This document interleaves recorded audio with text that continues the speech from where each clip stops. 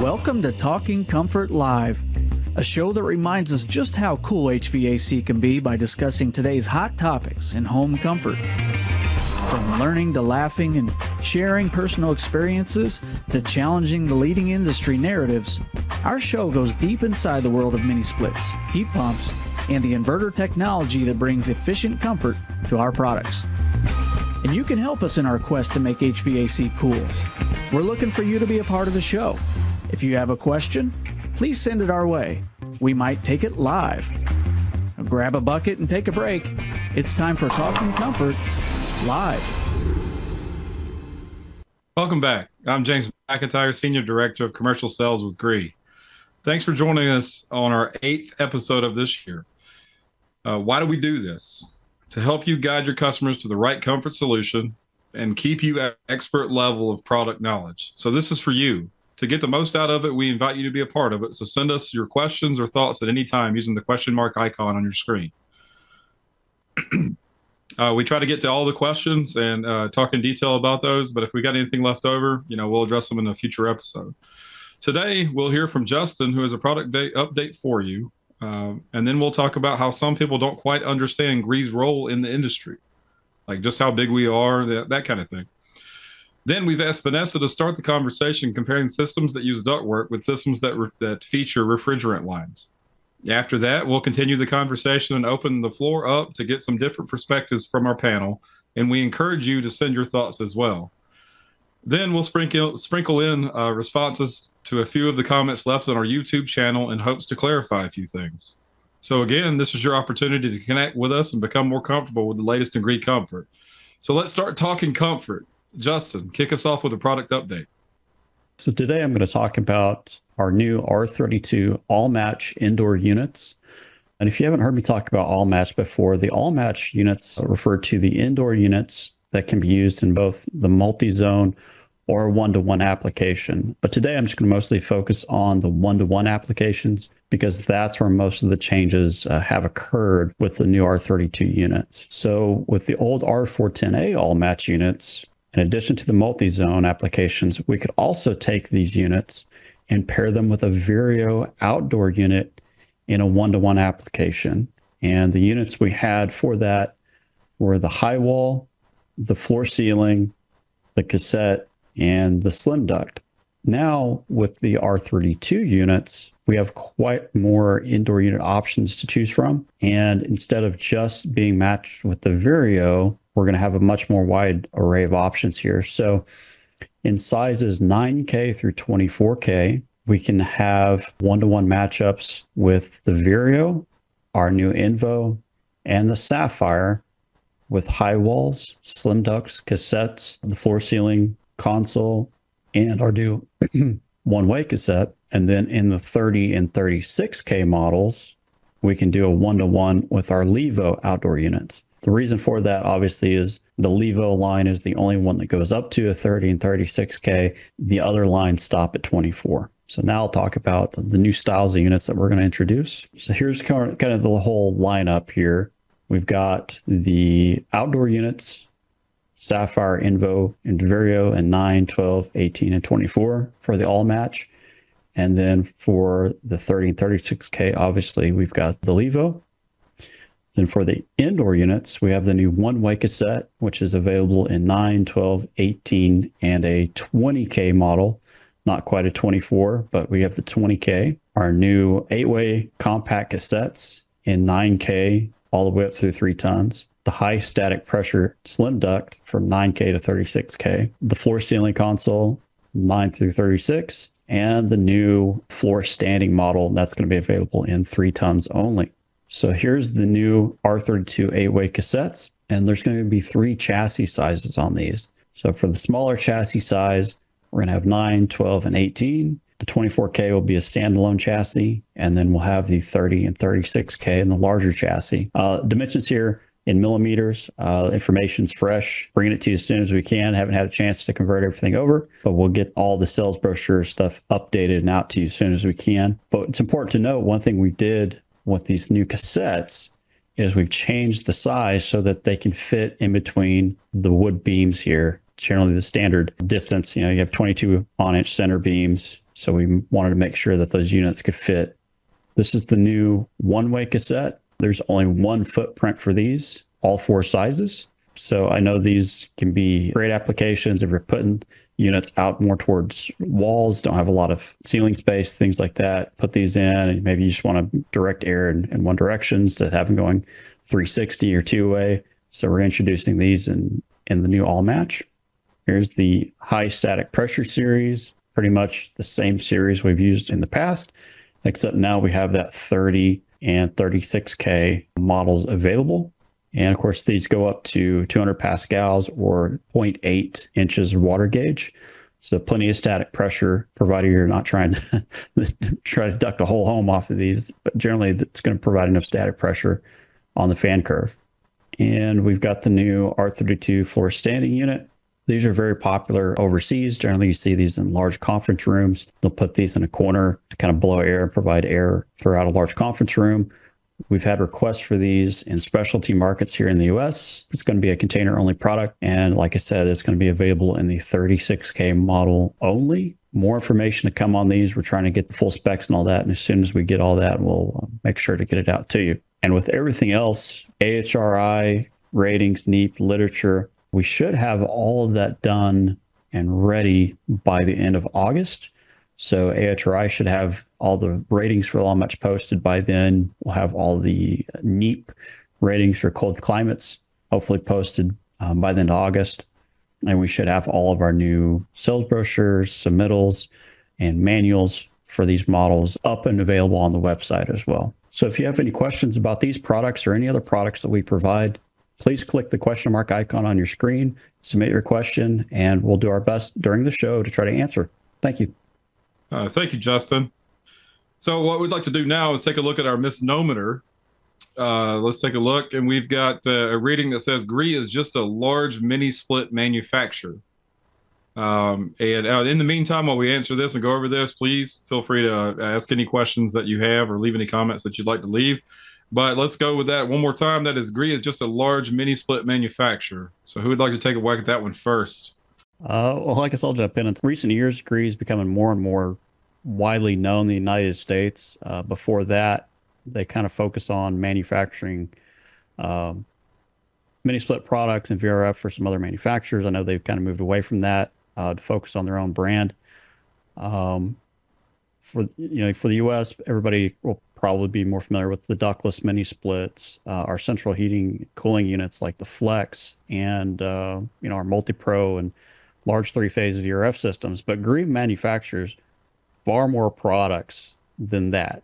Uh, we just really haven't seen them uh, here in the US, but globally, you're going to find things like uh, package units, you know, three phase package units, large chillers, air to water heat pumps, water heaters. They have a whole range of uh, home appliances, you know, washers and dryers, uh, electric ranges, refrigerators, uh, and then, in addition to just the finished goods that they manufacture, they also have their own, uh, you know, vertically integrated companies like Landa Compressor. They make compressors that can be used in uh, other products for other manufacturers. They have the Kaibang Motor Company, which manufactures their own uh, variable speed motors that can be used in other products. They manufacture uh, uh, like polymer parts, plastic parts through their molding division for not just air conditioners, but you know, cars.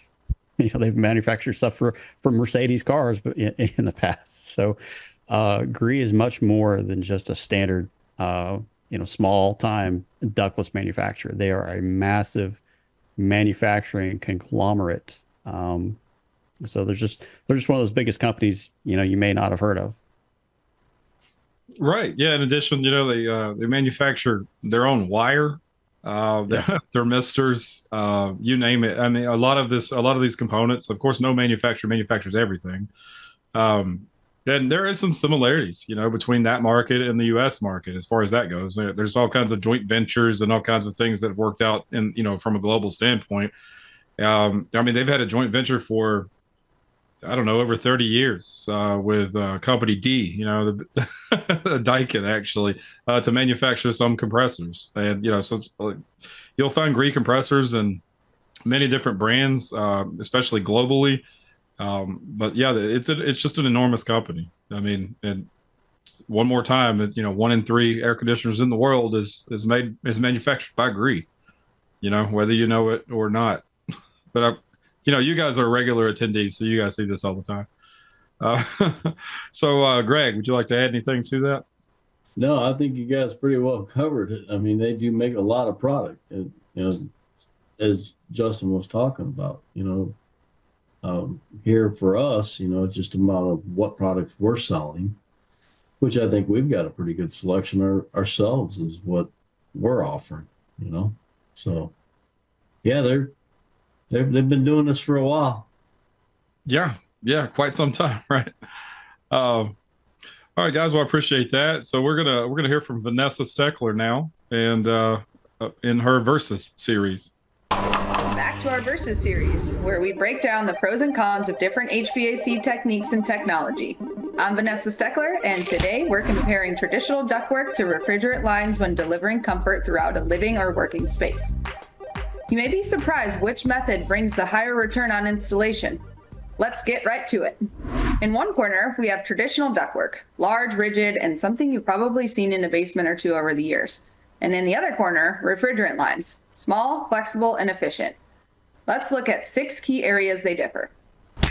First, space requirements. Refrigerant lines are significantly smaller and more flexible, making them ideal for homes with limited space or complex designs. They can easily be routed through tight spaces and around obstacles. On the flip side, ductwork requires larger, more rigid pathways. It often needs to be installed in attics, basements, or custom built solutions, which can use up valuable space within the home. How about installation complexity? Refrigerant lines typically require fewer labor hours to install. The process is simpler and quicker, involving small diameter copper tubes. Ductwork installation, however, is more labor intensive and time consuming. It involves cutting, fitting, sealing, and insulating large sections of ductwork. And another important difference system efficiency. Since refrigerant lines carry refrigerant rather than air, there's no concern about air leakage, leading to more efficient operation. Ductwork must be properly sealed to prevent air loss, which can result in up to 30% of conditioned air being lost, increasing energy consumption and reducing comfort. Now, something not often considered insulation. Refrigerant lines typically require less insulation.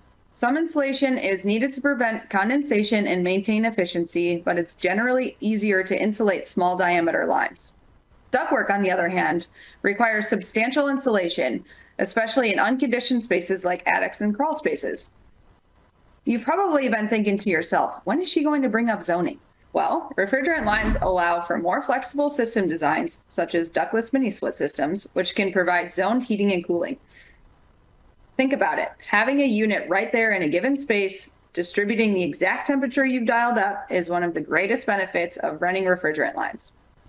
While zoning is possible with ductwork, it's more complex and costly to implement, typically requiring additional dampers, controls, and extensive modifications.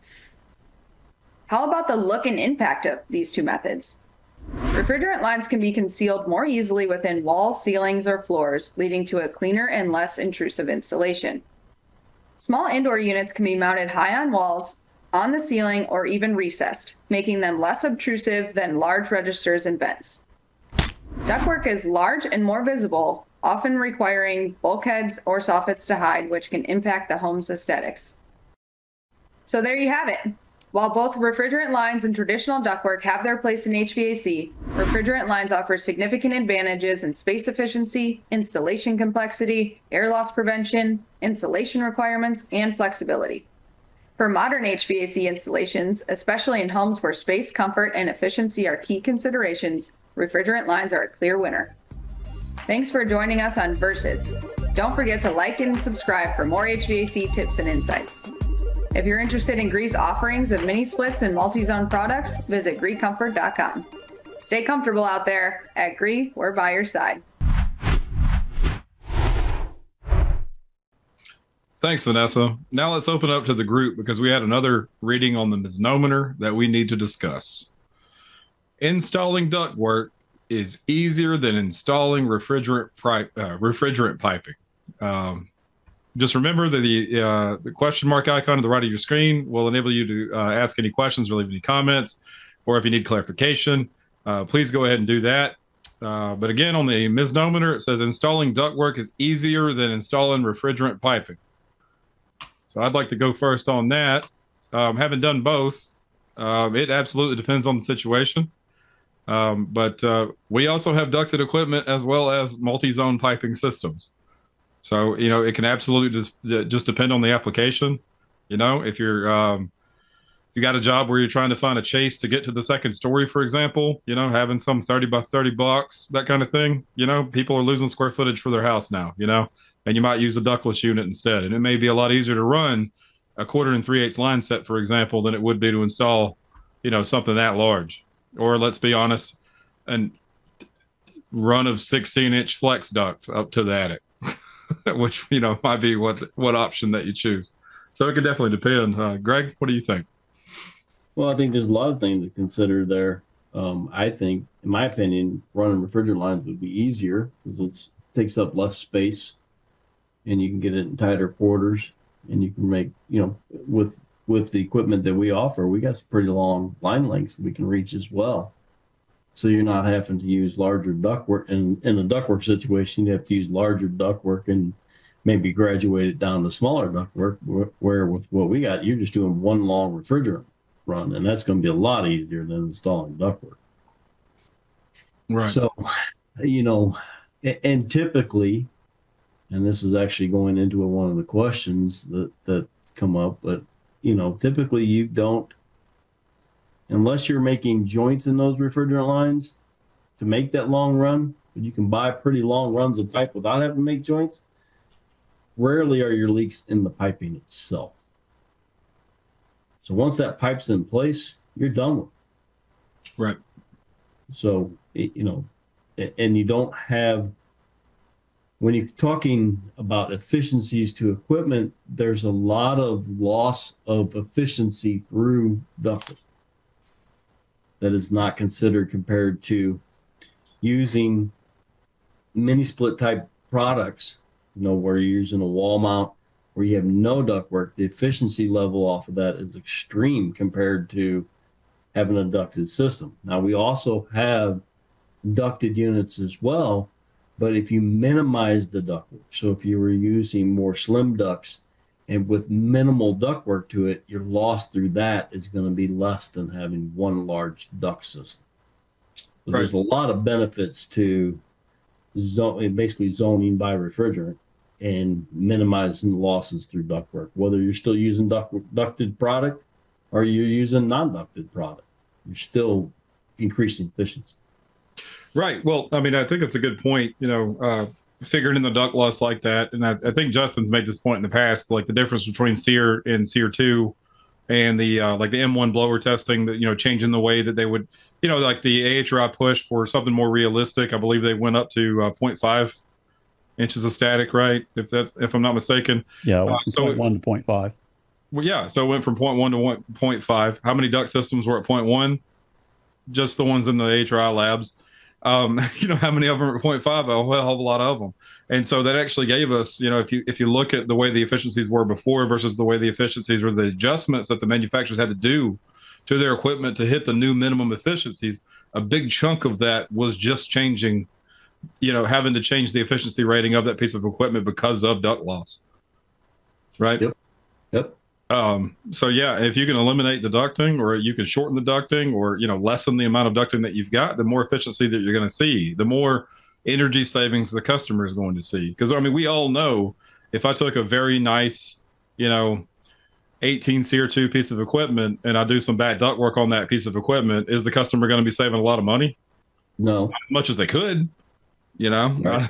definitely not as much as they could so i mean it, it can be that you can use a uh, you know bottom line style piece of equipment with a good duct system and get the same kind of power bill as you would have at a high efficiency system with bad duct work um, i mean we know that that has been the lifeblood for equipment um, but that's also why the insulation classes to ductwork that's used in unconditioned spaces went way up too.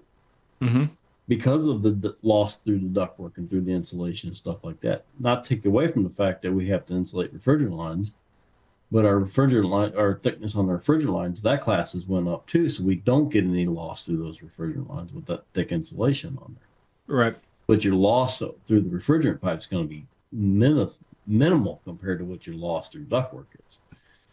And then when now that you're having to run ductwork with larger insulation on it, now you've just compacted the problem of getting the ductwork to fit in, into tighter spaces and stuff like that. Right. Well, and there's also the additional testing and all the rest of the stuff that's been done. You know, in some areas, blower door testing, all of that stuff, you know, contributes to cost and time and effort and all the rest of that. Um, I mean, in this case, if I've got a wall mount unit, it's rated at 12,000 BTUs. Am I getting 12,000 BTUs? Yeah, there's no reason why I shouldn't.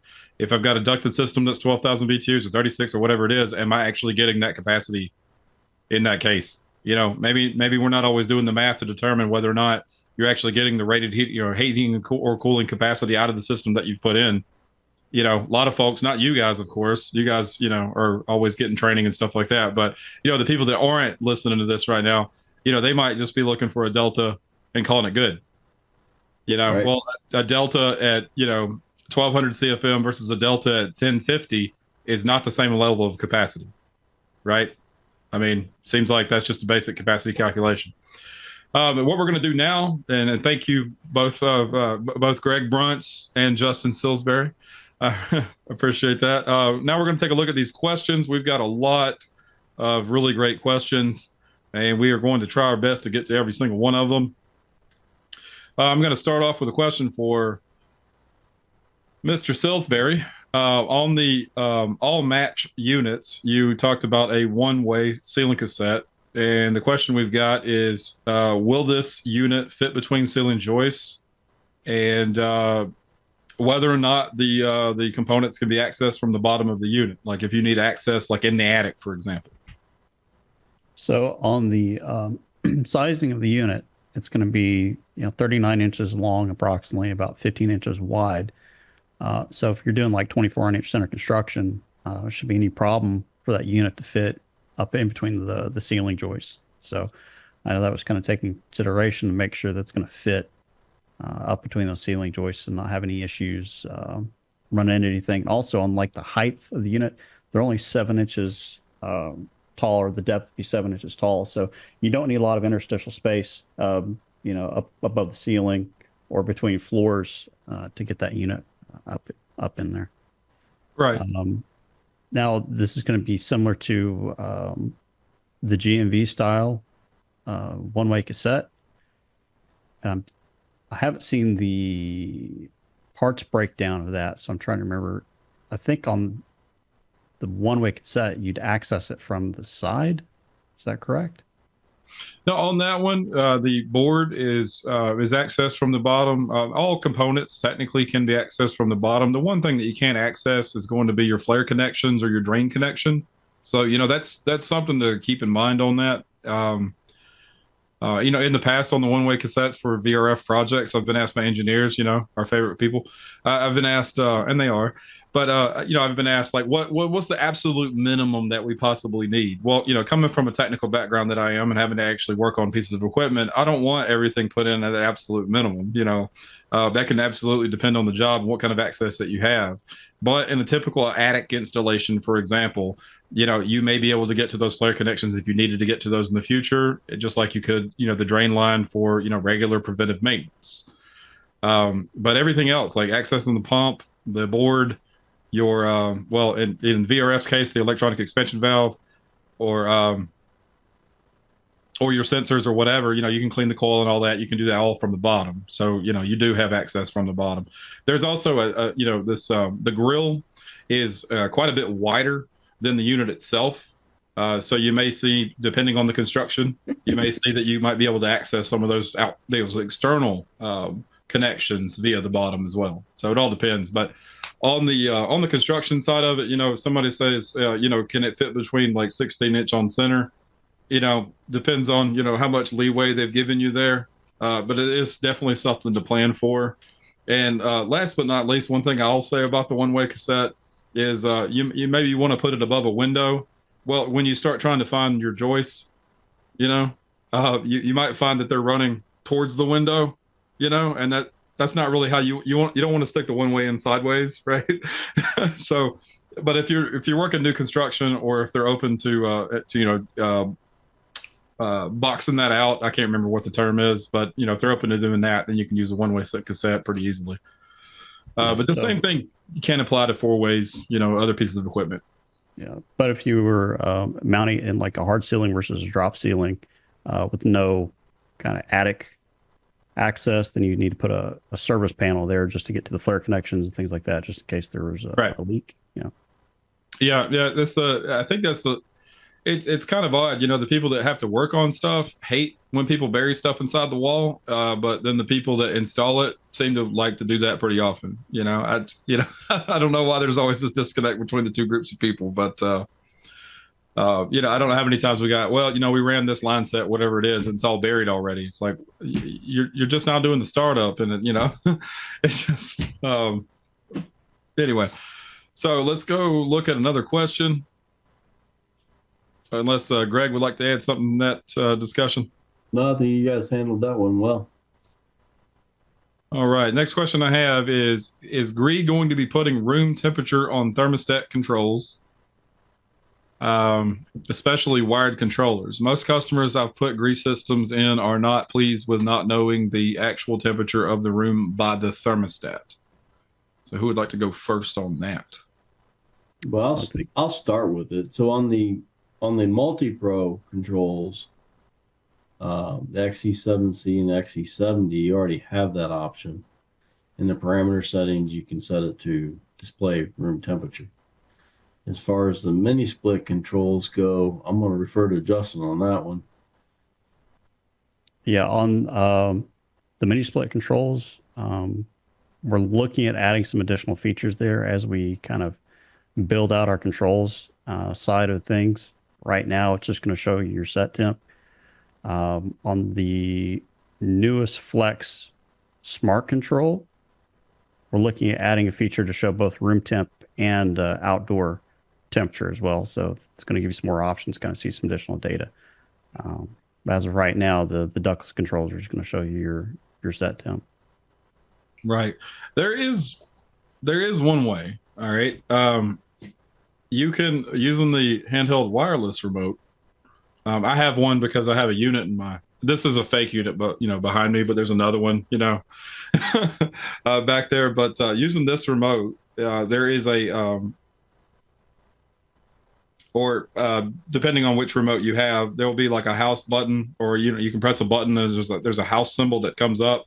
Uh, on this remote, it is the temp button, and if you press the temp button, uh, until it shows the thermometer. It's moving the thermometer back and forth. And if it shows the thermometer inside the house, it will show you what temperature is being like what temperature is being sensed. Okay. And if you leave that activated on the wireless remote, every time you press a button, it'll show what temperature is being sensed, the set point, and then the display goes back off, or it just stays back on, you know, on the set point, depending on if you have the light button enabled. Uh, what that means is it'll also show the same thing on the wired controllers as well. Uh, you have a uh, temp button or house button or whatever on many of the wired controllers. I can't speak to all of them on the mini split line, uh, but if you cycle through that, it'll at least show it at least temporarily. Uh, but honestly, uh, and you know, I'm I'm as red. I'm as I bleed red, white, and blue as much as anybody else, or red and white from our Canadian friends. Um, but um, the way a lot of these have been done in the past, at least globally, is that you know if somebody's cold, they turn it up. If they're hot, they turn it down. You know, they're they're basically going. This is the this is the temperature that I'm trying to get. You know, uh, I know that doesn't work for every customer, but as far as an explanation, sometimes it can help. Like their air conditioner in their car, for example, typically doesn't show what the temperature is inside the car. You know, they they set the temperature and they're like, oh, I'm kind of hot now. Okay, so they turn it down some. You know what I mean? It all depends on how you want to use it, but uh, but you know, knowing that we're, we're, constantly adding features to further North Americanize this equipment, I mean, you should take at least some solace in that, knowing that we're really trying our best to to help, uh, you know, our our fellow North Americans. Well, I guess one last thing to throw in there too is on the single zone mini splits, you can use the 24 volt adapter, and then you can connect any any uh, thermostat you want to use. Right, right. which can be Wi-Fi, can give you room temp, give you your temperature setting, whatever you, whatever you want. But uh, you do have to apply power to that 24 volt adapter. You are going to have to run thermostat wires from that 24 volt adapter. You're probably going to want to hide it somewhere so that it's not, you know, hanging next to the unit because that's not going to look very good. So, you know, that would be something you want to definitely plan for before you install the equipment, knowing you're going to be doing that so you can hide the wiring and stuff like that, the controls. Right. Okay. Uh, we're going to go with two related questions, and they both come from the same person. So, uh, on the Multi 24, is the 3 eighths to half reducer required, or can I use my own copper press fitting reducer? And also, why is it on the 12 you have half instead of 3H suction? So that all depends. As far as the line sizes go, it depends on the indoor unit. Refrigerant lines are always sized to the indoor unit. Your outdoor unit connections are always quarter three eighths on the multi-zone equipment. Right. Any adaptation done needs to be done at the outdoor unit. If they want to use a press fitting that's going to adapt them from say half inch to a three eighths connection on that outdoor unit, I don't. I mean, all you we're giving you is a flare adapter. So if you're not going to be, if you're using press fittings, I don't see any reason why you couldn't use that it, the only thing is, is we got to be able to adapt the refrigerant pipe size, say from half to three eighths, so you can make the connection. So no, there's no requirement that says you have to use GREE's flare adapter. But the requirement is you do have to size the refrigerant lines to the indoor unit. And that changes depending on what indoor unit. If you're using a Livo unit versus a Vireo unit versus a Sapphire unit, it's all about the indoor unit and the refrigerant flow that's got to happen through that indoor unit. And if you use the line set size that's too small, you probably won't have a problem in cooling, but I assure you, you will have a problem in heating mode because your discharge line, because now your indoor coil is your condenser, your discharge line is going to be too small. And you're absolutely going to have problems with that machine. Right.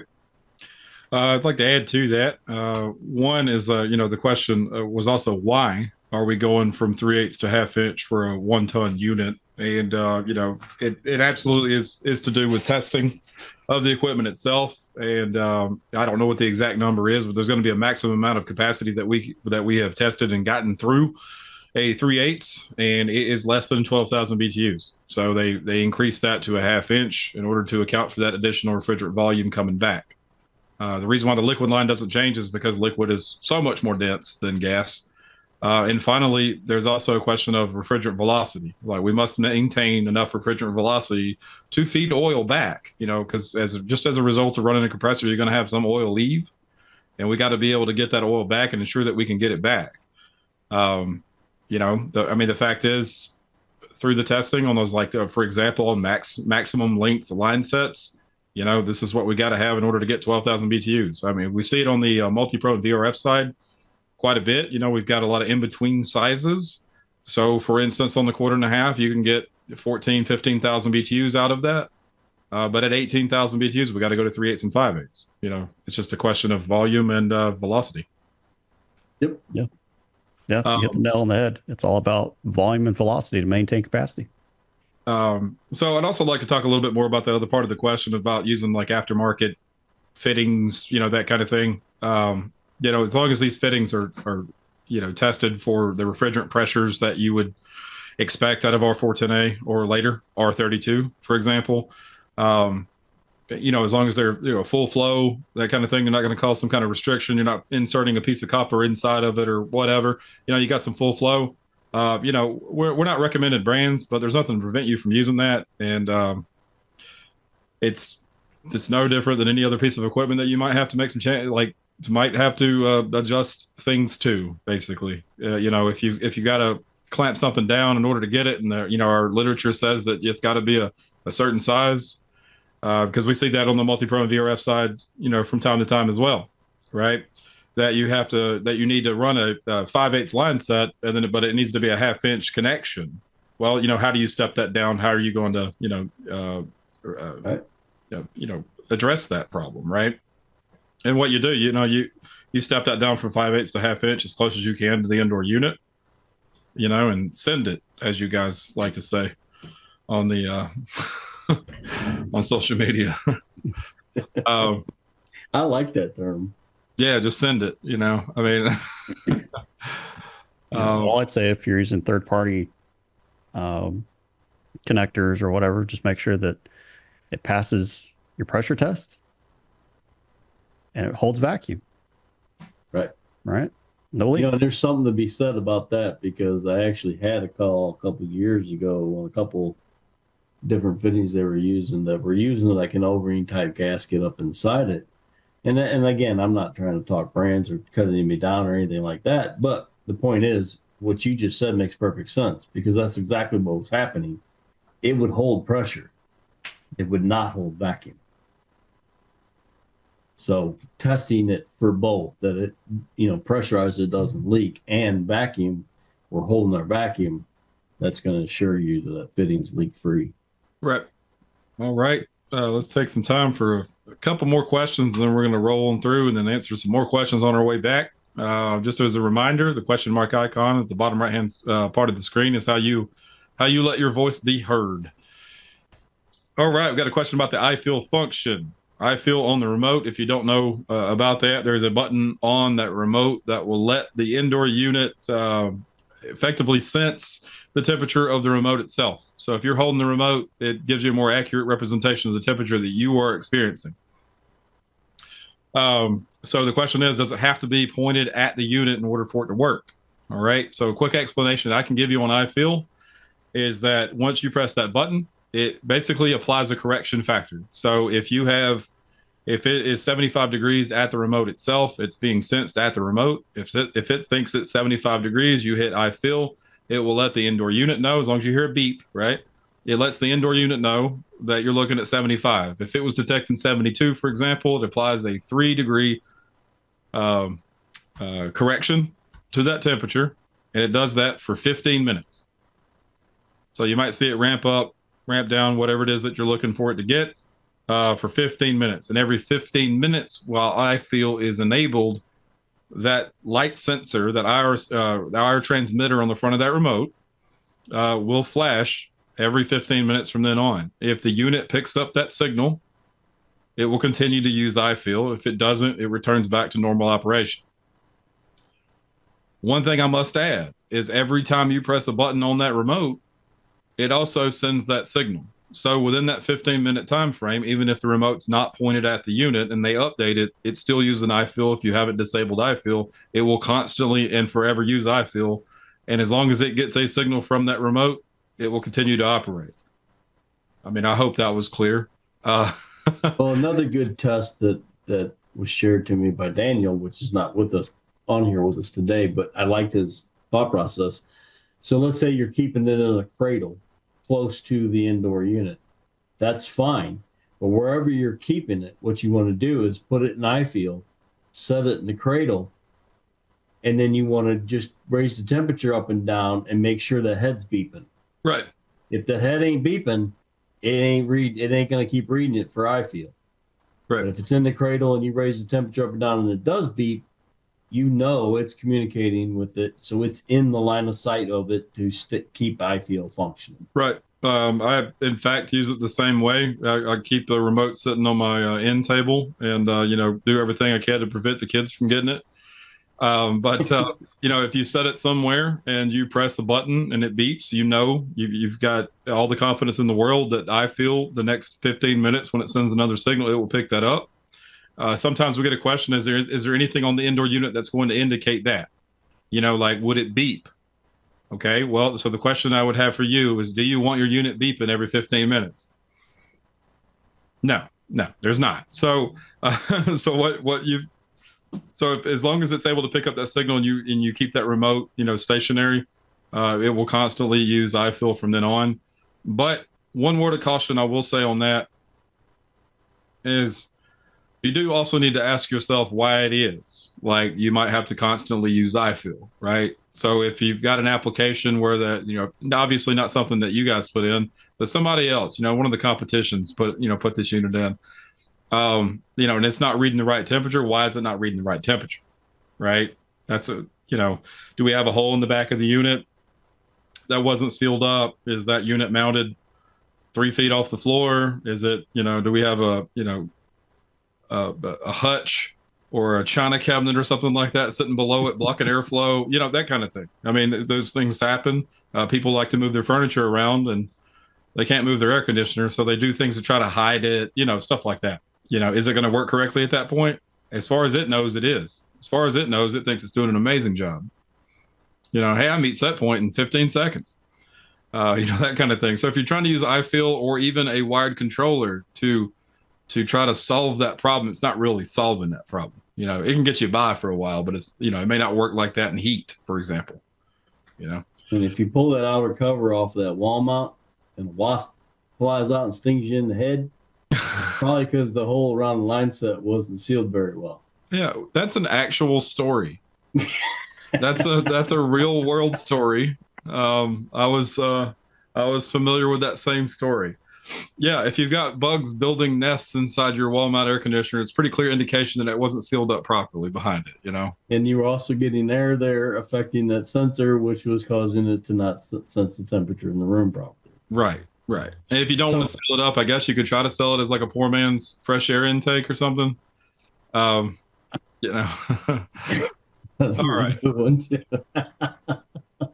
yeah, yeah who needs an Invo? We can just not install it correctly, right? Sure. Uh, okay. Wow, there there are so many questions. Here, I got another one. Um, on a ceiling cassette, does the condensation pump run at all times, or does it cut off and on as needed? It's got a float in there. It cuts on and off. I don't believe they run all the time. All right. So in cooling mode, um, I can definitely tell you on the MultiPRO cassettes and VRF cassettes that in cooling mode, if it's in cooling mode, the condensate pump does run all the time. The the float switch is used as an indication that you've got too high of a water level. It's not a two position style float switch. Um, in heat mode, it is like you know the, if the float switch trips in heat mode for some right for some reason, you know it'll bring that condensate pump on. Uh, but in cooling mode, it does it does run all the time. Well, I stand corrected. I didn't know. Yeah. Oh, well, you know, this is this is why we do what we do here, right? Uh, yeah, it runs all the time. It's an impeller type. Uh, it's not like a piston type. It's not, you know, you're not worried about it running dry, that kind of thing, like you would out of a piston type or a uh, uh a non uh, self priming pump, like you may see in some external mounted mini split pumps. It's just an impeller. it doesn't rely on the water, the compression of the water, or whatever, to help it, you know, cool or whatever. Um, we see some very, very long life out of this style of pump, which is why we continue to use it to this day. Uh, I've honestly, I can count on one hand how many times I've seen one of these pumps actually fail. Nine times out of 10, somebody's wanting to replace it because it's got a bunch of junk in it. Um, and you may not know this, but you can actually, you can disassemble the pump. You can take the bottom cap off the bottom and clean it up real nice and put it right back on again and to keep on running. They, uh, they actually work really well. So I hope that answered that question. Uh, next one, let's see. Um, not doing that one. that one. Let's see here. What are some good applications for the high static slim duct unit? Okay. Um, well, I can tell you that we've seen this application, we've seen that unit used in residential and light commercial applications. I mean, I've seen it used in uh, everything from uh, in, in, a dog food manufacturing plant to to a um, to someone's uh, main bedroom, for example. So they're used in many different applications. Uh, pretty much anywhere that you might use a um, multi-position air handler. I mean, if you take a look from a uh, like a price point price point standpoint, uh, you may see that the uh, horizontal ducted units or the pancake style, whatever you want to call them, um, you know, they can be a bit less expensive than than full-on air handling units. Um, we see those used a lot, you know, in zoning applications where they want to do uh, bedrooms versus living areas without having something on the wall. you know that kind of thing. Um, but that, yeah, that was really what I was referring to too, as far as zoning goes, and minimizing your ductwork. You could use ducted units like that and have, you know, a couple different ones, whatever, however you're trying to zone it out, and you're going to have minimal ductwork on. You I think- basically just got to have a small return coming up to it and then a small supply coming. And Depending we on size, right? Yeah. So- you know, before we've talked about, um, you know, trying to have multiple zones versus single zones, things like that. And a lot of times there are many rooms in the home that uh, the BTU load is just too small for an individual unit. And so those slim duct units are perfect for tying multiple rooms together that have that, you know, on their own each have a very small BTU load. Well, you can use a slim duct to uh, to zone those out and I think they're they're probably easier to install and take up a lot less space than a vertical air handler would. So I think that's a perfect application for them. I Right. agree. With, I agree with you 100%. Um, well, you know, high crawl spaces and basements and stuff. If you're trying to maintain, like if you got a tall guy like me, you know, that's the homeowner or something. You know, maybe you want to maintain some overhead space. Well, putting in a horizontal application, large, you know, big square style unit, you know, is going to take up a heck of a lot more head space. You know, we, so we've seen that installed in those applications too, where they've got, you know, um, shorter but wider ductwork connected to it because these are shorter and wider units.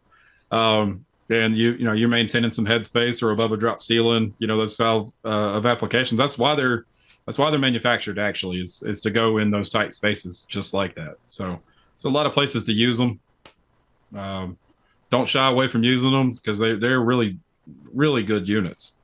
Really are. Um, very low amp draw you know i mean? You name it okay so um, Let's see here. Um, on the R32 single zone, all match systems, which outdoor unit is predominantly being used to connect and match against? Which one has the AHRI rated document?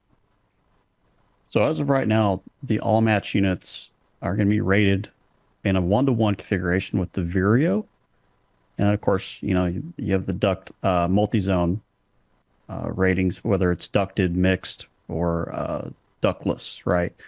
They rate them differently that way. With the upcoming R32 units, the whole point of kind of expanding uh, that lineup is so that on the 9K through 24K, we're going to have different ratings than the one to one for Vireo, Invo, and Sapphire, right? Because what's the point of, of making them all compatible if we're not giving you a rating, right? Because obviously, if you put a slim duct on a Sapphire versus a Vireo, the Sapphire is going to get a better rating, right?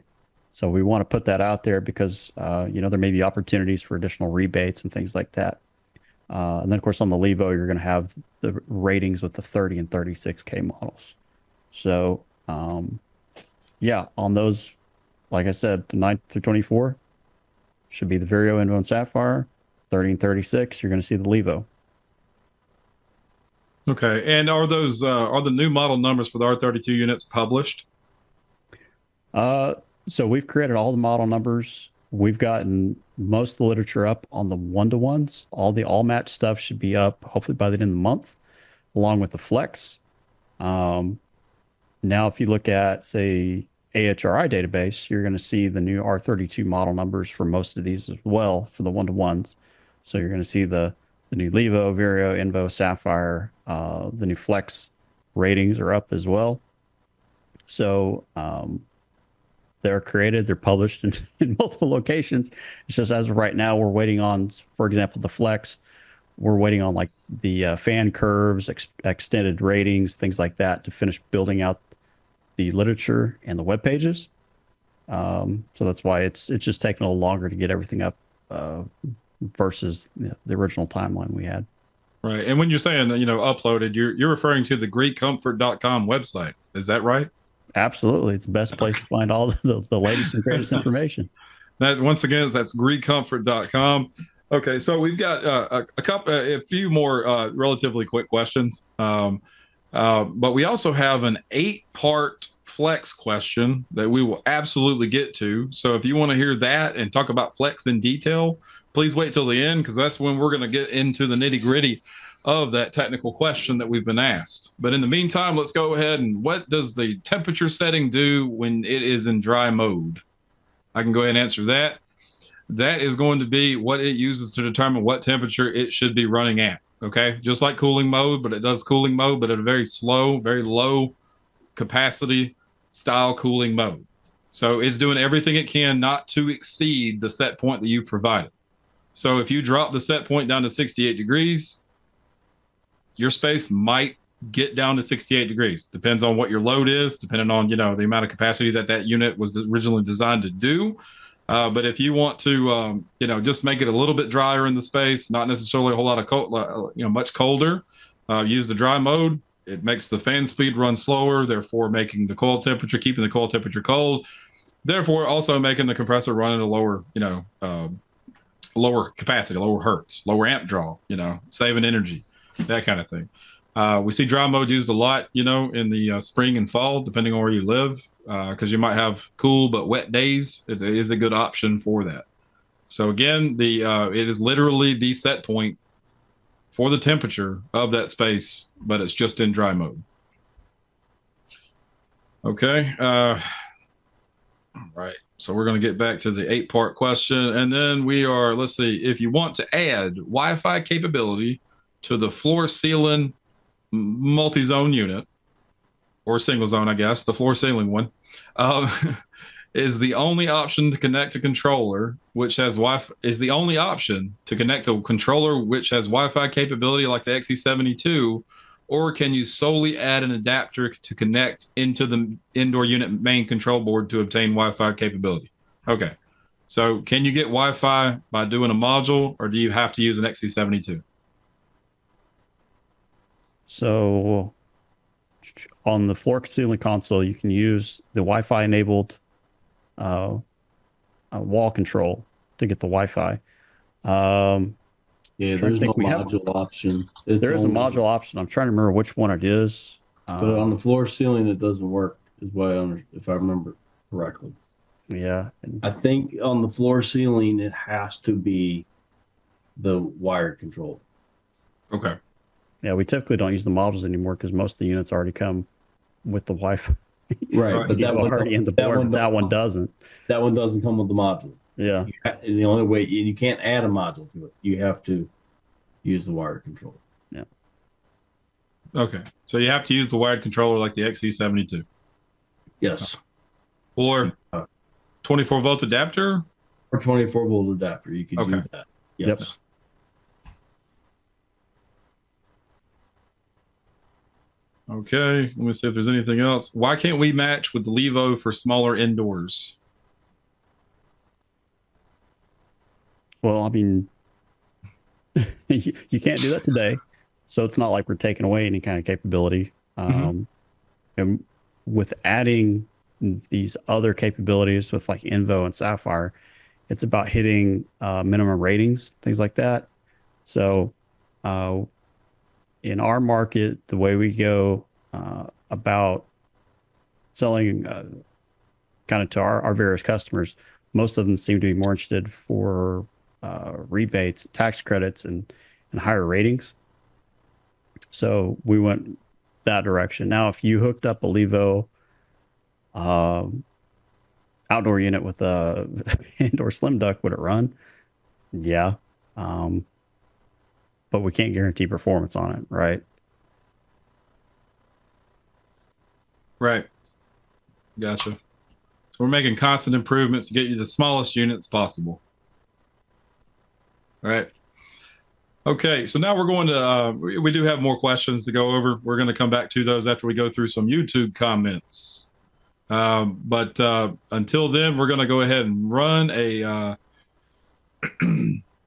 we're going to run you a short run a short clip uh, to uh, cover our MultiPRO equipment and then when we come back we're going to go over those youtube comments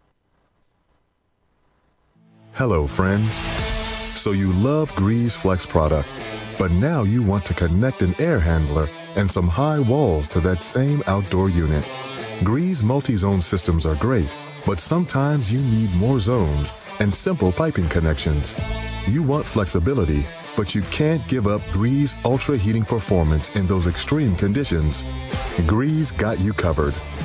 Introducing the MultiPRO and MultiPRO Ultra, your complete single and multi zone comfort solution for residential and commercial applications. For more information, visit greecomfort.com forward slash multipro. MultiPRO, your complete comfort solution. So we're going to cover these uh, YouTube comments, some selected YouTube comments. As you uh, can possibly understand, we don't always cover every single YouTube comment that's made because you know how YouTube can be. Um, let's let's take a look at. Uh, we have a question from um, at Rhoda Echo on the X-Pac video. Says, "I can't seem to locate a technical detail. I live in Phoenix, and 115 degrees is very common. I see it has an operating range of up to 125 degrees." but what is the inverter protection temperature set to? Well, that's a great question.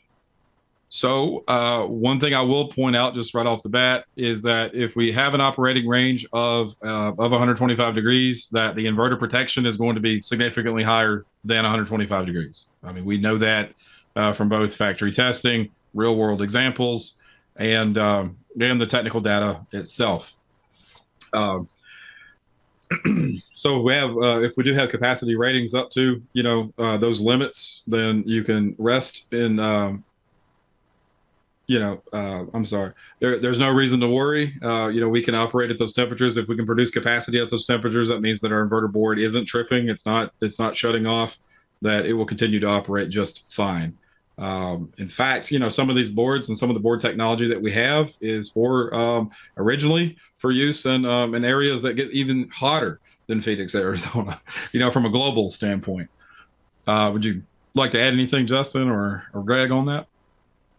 One thing that I would add is just be careful where that unit's sitting because if that outdoor temperature sensor is getting beat on by the sun and you get the error code, you may want to just make sure you know shade that thing from the sun and see if you know the temperature's a lot lower with, with it out being in direct sunlight.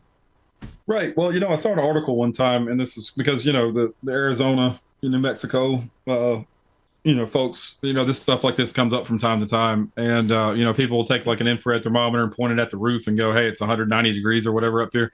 Uh, what's interesting is I read an article one time that talked about the uh, temperature difference between the roof itself and six inches above the roof, and there was such a drastic temperature difference between those two temperatures. Like if you were to elevate those, I know you're not worried about snow necessarily, but you can you can help those systems perform a bit better by just getting them off the roof some. Right. right.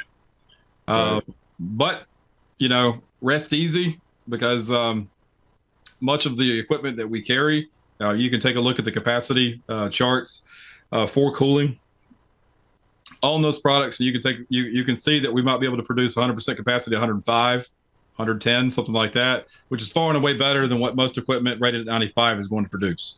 So you're you're not going to look at the same level of derate that you might see in standard equipment for example. Uh, Justin, anything you'd like to add there? Yeah, so I'll say on ductless, uh, the temperature is 58 degrees Celsius or 136 degrees Fahrenheit. Um, I don't remember if it's the same on FLEXX or if it's a little higher on FLEXX. I'll look and uh, get back to you. Right, gotcha. So as long as we're maintaining good airflow, our uh, our heat sink, if it's using a heat sink, or in the case of like the MultiPRO Ultra, it's liquid cooled, so that's no longer even a worry. Um, as long as that heat sink's nice and clean, you know, it's not you know covered up in cottonwood or something like that. You know, you know, you got good airflow, then you should be able to maintain lower than 136 degrees. Um, as those things get hot, it will reduce the uh, capacity to try to keep that temperature low. It's not going to sit there and run and then try to fry itself like you might find in manufacturers who are just recently started making inverter driven equipment, for example. All well, right. that's one thing that I always talk about with Gree equipment. Gree equipment does a great job of protecting itself. It's got right. enough thermistors and, and other sensing devices in it that rather than just shutting down or going out on air code immediately, it's it's probably reducing capacity or run rate of the unit. They're going to let that machine run until it reaches a, a a, a problem that it if it if if it was going to stay running, it's going to end up damaging the compressor or something like that on the unit. Right. Therefore, then it's going to shut it down. So, yeah, you can very easily get phone calls from, you know, for service where the customer is telling you it's just not keeping up, and Mhm. it's because that you know there's something wrong with it, but it's not out on their code. Right. So, Yeah, and it, it's self protection. So I mean, I, I know that some feedback we've gotten in the past has been, you know, like it's kind of aggravating, right? Uh, but you know, it can be aggravating because you're getting this error code or whatever it is. But it's it's better to get an error code for self protection of some kind, right? Uh, right now than it is to get failure three months from now. Well, the other thing too, is it's a benefit to the customer too, because rather than shutting down and having no cooling or no heating, it's at least giving them some cooling or some heating until the problem gets addressed. As long as it's not damaging the equipment, it probably is not going to produce an error code. It's not going to shut down. Right. All right. So another YouTube comment we have. I'm not going to try to read the username. Um, it was talking about the it's uh, the video for troubleshooting a mist pipe multi-zone. This actually comes from what appears to be a homeowner or some type of owner. Uh, basically, you know, they were uh, going through the same thing. The contractor is going to come back come back out to run these tests. That I take it that the homeowner is going to provide the contractor, unfortunately. Um, but um, but they're asking, but in the meantime, could these tests damage the system? You know, like running one unit, running another unit, you know, that kind of thing. Is that going to damage the system? The answer to that question is no. No. And which Because actually relates to unit- it Well, relates the to what thing- we're talking about with self protection. I mean, that's, Yeah, the, the unit's protecting itself. So if it gets bad enough, it's going to shut down on error code. right. Um, like in that case, if you were running one unit like that, and you know you got a, a freezing up unit on the other, yeah, I mean, there's definitely some self protections that can kick in. Uh, the next YouTube comment. All right, let's see. Uh, this is on the GREE's single zone mini split full installation video, and this says based on R32, is it allowed? Okay, because I think that's what's being said here. Is it allowed to have the flare connection be inside of room? Since R32 is slightly uh, flammable, you know, it's an A2L refrigerant, right? The pressure in heating mode can reach 500 psig. Y- yes, it, it it is allowed to. You know, you can have the flare connection inside. Um, there is a um, on the R32 equipment. There will be a refrigerant leak detection sensor uh, that helps uh, to detect if there is a refrigerant leak, and then we'll bring on the indoor blower motor to help you know dissipate or uh, dilute uh, any amount of refrigerant. You know, therefore reducing any you know uh, the possibility of any further problems. Um, as far as the pressure and heating mode reaching 500 psig, I mean everything we've got is rated um, at over 600 psi. Uh, some of our pressure sensors or pressure, excuse me, pressure switches trip at 609 or 619, you know, depending on which product we're talking about. Uh, so we're we're covered, you know, as far as the pressure is concerned.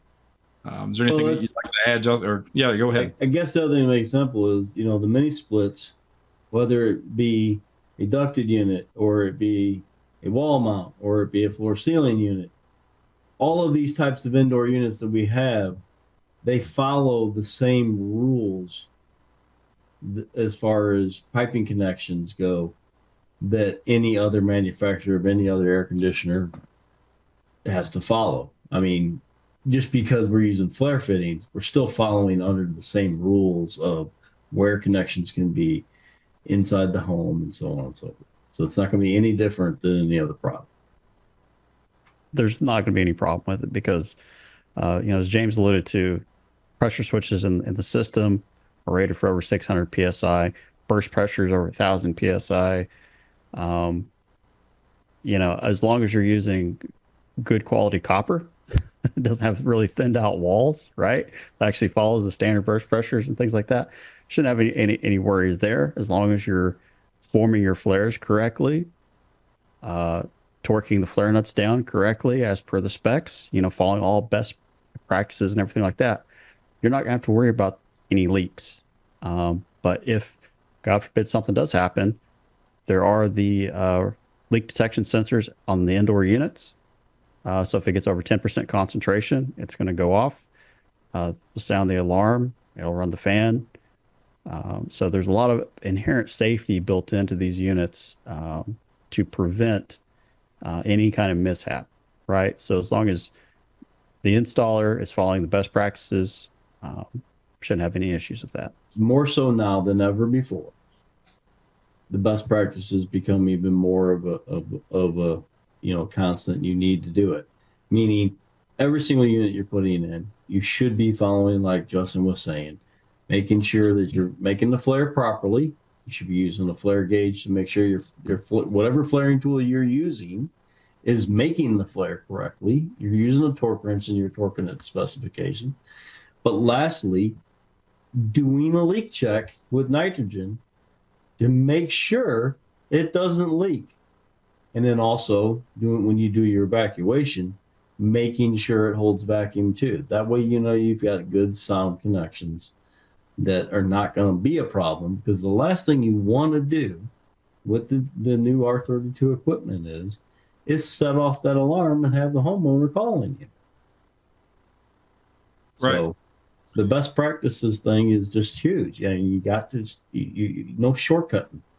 Make sure you're taking the time to make the connection properly and make sure that it doesn't leak before you ever let that refrigerant out into the circuitry. Yeah, I mean, with natural gas appliances, you have connections inside homes all the time.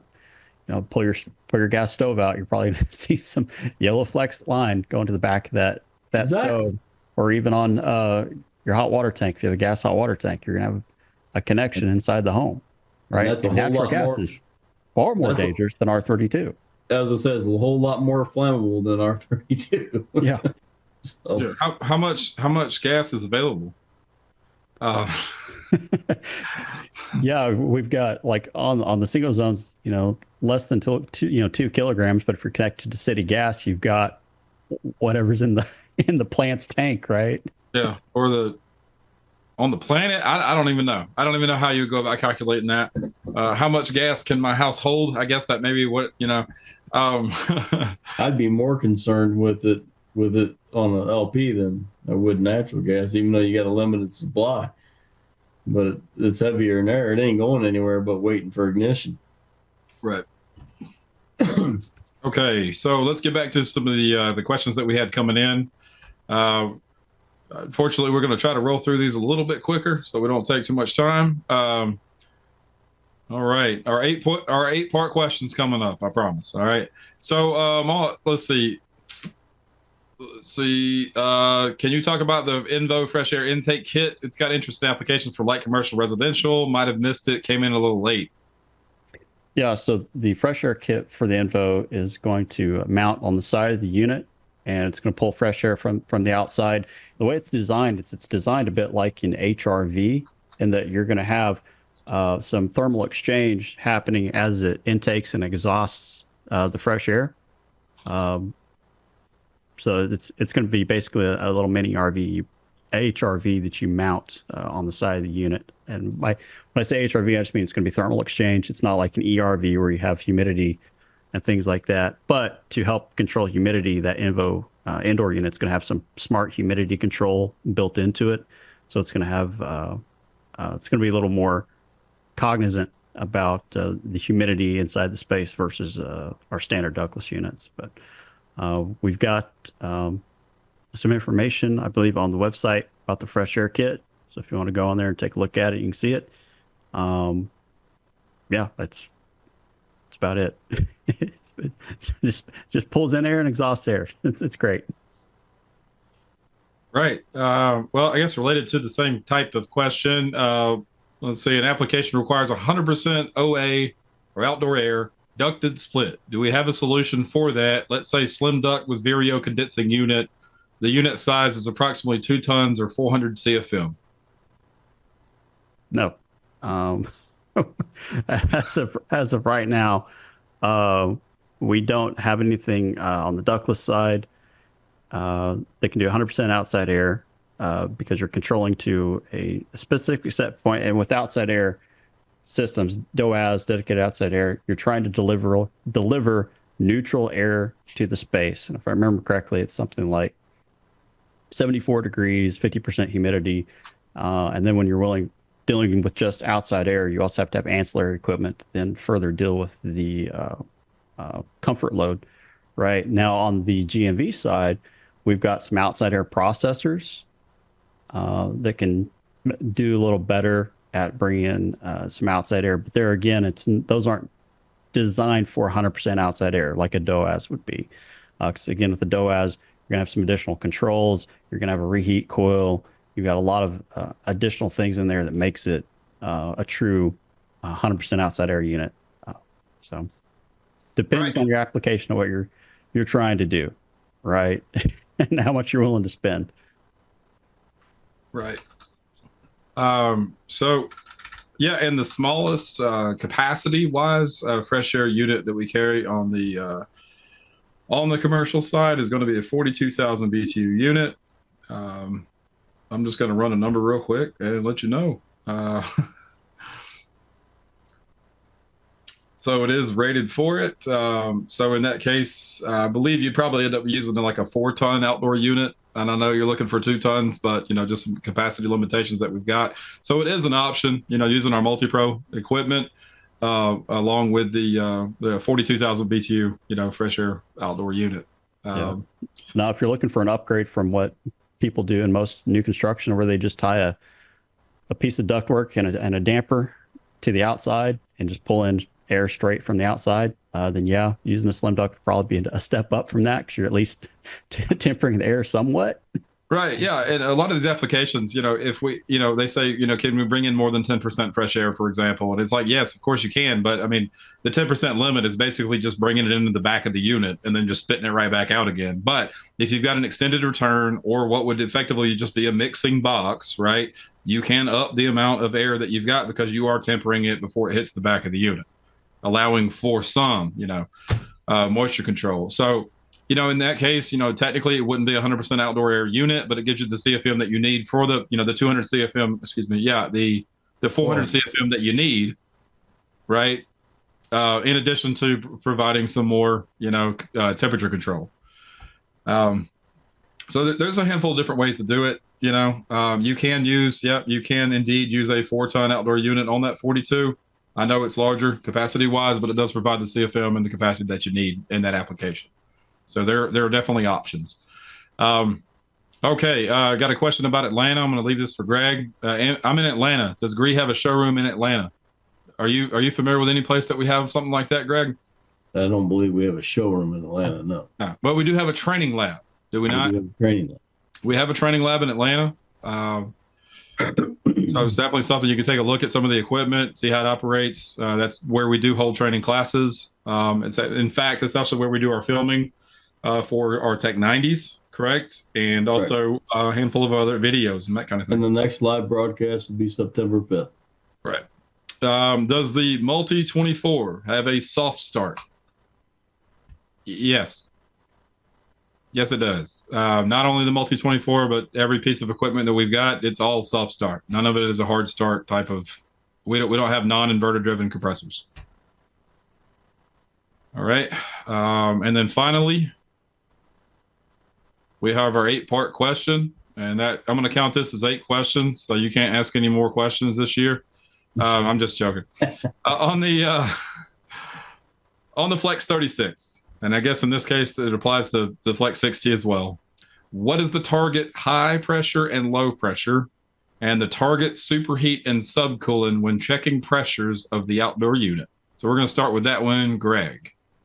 So, with that being a fully inverter driven system, with no way to lock the compressor speed at specific speed, we cannot give you target subcooling, target superheat, target pressures. The refrigerant charge on those is based solely off of weighing the charge in. Right. Okay. I'd like to add something to that. I know that some other inverter manufacturers have given like a chart, you know, like a subcooling chart. But if you look at that subcooling chart, it's like from nine to 19, you know, that kind of thing. Um, if you have a leak, you, you know, you're supposed to fix it anyway, right? Um, it, and the way you know I've said it before in the past is that if you if you know you had some kind of leak or something, you know you're low on refrigerant. If you if you add refrigerant, it is closer to being properly charged than if you didn't. Right. Um, but yes, you're absolutely right. There are um, like a dozen or so um, parameters that the unit's using to run at a given speed. You know, trying to grab one parameter and make a determination of whether or not it's running properly is just not what we can do. So the FLEXX in that case is not unlike the mini splits or a VRF product or a uh, MultiPRO style system. Well, Um, even in the VRF product, just to kind of clarify it a little bit better, you still don't really troubleshoot by pro- pressures and subcooling and superheat because there's so many other parameters in that world of equipment that that you got to be able to put it all together at once. You do. So you really can't. If you try to troubleshoot just off of pressures, you're gonna you're not gonna get the machine working properly. Right, and uh, one more thing, um, you know, having the uh, behind the curtain view that I've had in the past, um, the the subcooling or superheat chart or whatever that you're given for an inverter driven piece of equipment, uh, particularly for a rebranded inverter piece of equipment. Uh, the question I would ask, I mean, and I know the answer to this is, was it the factory who provided that data, or was it something that somebody saw at one time and then just provide a range? You know. Um, and in that case, most of the time it's just a range. And if you fall somewhere in that, it could be normal. Who knows? But effectively, what you're doing is if you're if you're looking to try to get a delta or some kind of normal pressure or whatever, it might run great today. It might not run great tomorrow. You know, the sun comes up tomorrow and it's hot. Now it's not going to run right. You know that kind of thing. So the only way to ensure that it's absolutely going to work like it's supposed to is by weighing it in. Uh, number two is the indoor blower motor constant or fixed torque or let's see i'm sorry is the indoor motor constant fixed torque or variable speed So on the FLEXX that is a variable speed motor. I know currently with the dip switches, you'd set a dip switch and it runs at one speed. Uh, but if you look at constant torque or what we generally call X13 motors, those were the five speed ECM motors. We have more than five speeds on the FLEXX. Um, but currently, uh, you set it uh, to one speed and, and that's what it runs. But that's that's really a variable speed motor. Uh, and as I've talked about, I think on the last show, we're working on development of a FLEXX Smart controller that will give variable speed capability. You know, basically unlock the features of that motor. Um, but yeah, it's it's technically a variable speed motor. right and if you are uh, looking for a variable speed motor like from us right now in that style of system uh, i invite you to check out the MultiPRO uh, it does provide variable speed uh, right now. Uh, let's see. On the next part of the question is how to test if the blower motor is responding to dip switch changes for airflow. How would you go about testing that? Use a manometer. So, first of all, when you set the dip switches on a FLEXX unit, you absolutely have to have the power off. If you change them dip switches while the machine is still powered up, it will not recognize the change to the dip switches until the unit's power cycled. Secondly, if you're trying to just figure out if it is going to be, if, if it's responding, set it at a really low airflow, measure your static pressure, look at the blower chart, see what CFM you're delivering, and then power it back down, set it at a much higher setting, and then reestablish power, turn the fan back on, remeasure your static pressure, and see what your airflow is off of the chart. Then that's going to clearly tell you whether or not it is recognizing the speed changes. Because if you go from like speed two setting to say speed seven setting, that's a noticeable difference in the profile we're sending to that motor to make it run it. I have not had any cases yet, and I never say never, where the where a dip switch changed that it wasn't actually being profiled to the motor. Right. It's just not a common problem with it, is what I'm getting at. Right. Yeah, there's no reason to try to be playing operation. So yeah, ensure that the power's off when you're making those dip switch changes. But uh, let's see here. Uh, does putting the unit in force cool operation at the outdoor unit ramp the compressor to 100% capacity? It does not. All it does is force it to run, and I and since it is thermostat driven, if you force it to run, it does not have the ability to turn the indoor fan on. So if you're going to do that, you need to make sure the thermostat you turn the fan to on and make sure the indoor blowers run when you force it on. Okay. Does the indoor coil temperature sensor have anything to do with how fast the blower motor runs? I don't believe it does. Um, not through our own testing. No, it, it doesn't. No. do with- Through our own testing, it doesn't, and it doesn't. A lot of people think it, it would add freeze protection. It does not. Um, Which you know, at that point, what would it do? You know, like what what Right. would the air handler be capable of doing at that point? Would it shut the outdoor unit down? You know, it- like it can't, right? I think Gree put them on there as as a possibility for future production. I don't believe they really do anything at this point. Right. Okay. Uh, let's see. Why does the outdoor unit have a G terminal? It's a test point.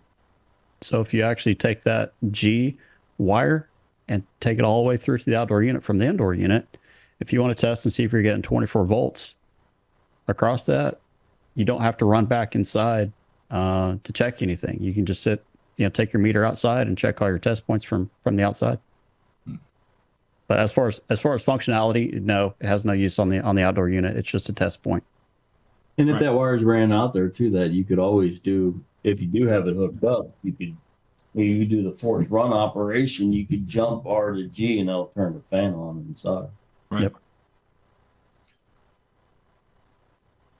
Okay, on the I guess particular to the X, the excuse me, the FLEXX 36 is the airflow volume at 830 cfm or 1000 cfm from the factory at level 4 default. So on the 4 ton and the 5 ton, I believe their factory set at speed 6, not speed 4.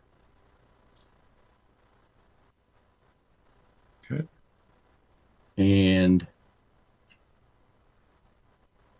have to pull up the blower chart too. Yep. I'm pulling up the blower chart too. Okay, good. Okay, cool. So speed six at depends on the static pressure drop as to the actual CFM you're moving. All you're Yeah. doing is giving it a profile for a fixed speed on the fan, and depending on your static and looking at the blower chart after you measure the static, it'll tell you the CFM that it's actually delivering. Right. Because if you raise or lower the static pressure, it's going to change the amount of CFM that you're delivering. Correct. Higher static, lower CFM, lower static, higher CFM. All you did was give it a fixed speed to run at. And you said you think that is speed six from the factory on the FLEXX 36? Uh, is that 36? I thought it was five ton four ton. Oh, no, it's a, it's a 36. Okay, it is speed four. I'm sorry. Yeah. Okay. At So two and three four. ton, it's going to be speed four, and Right. four and five ton, it's speed six. So, from an AHRI sta- testing standpoint, what they've done here is they've got Speed 4 set from the factory. They hook up ductwork or whatever apparatus they've got from an AHRI testing standpoint. They hook that up and put 0.5, 0.5 inches of start. uh, Excuse me, 0.5 inches of uh, of um, static Static. pressure on that unit, which would then rate it at 830 CFM. So that is the CFM that it at if you if your duct work is at 0.5, right? And we have it set for speed four, you should be able to expect 830 CFM at that point. Right? And if it was at 0.5, you know, then you can you can adjust the static pressure from there to get whatever CFM that you're trying to deliver to the space. Okay. All right. Well, unless you guys have something to add, um, I think th- those are some of the best questions I, I believe we've ever received, and uh, it, it feels like they're getting more and more difficult as time's going on, uh, which which we appreciate. You know, we, we do like to nerd out about this stuff.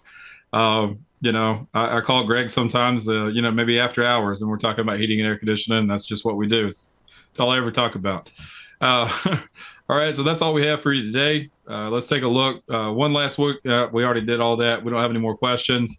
So, um, well, that's it for Talking Comfort Live this month. We'll see you next time, September 4th. And then on September 5th, we're going to be live from Atlanta. Okay. We don't normally try to do them back to back like that. It's just with all the other scheduling we had going on, that's the way we had to do it. So, Right. uh, we will have a live broadcast on from from Atlanta on at the training lab, and it's all going to be about the new product lineup of A2L refrigerants and you know the sensors. What do they do? Where are they located? You know, best practices as far as installation and all that kind of stuff. That's what it's all going to be geared around the R32 Gree product.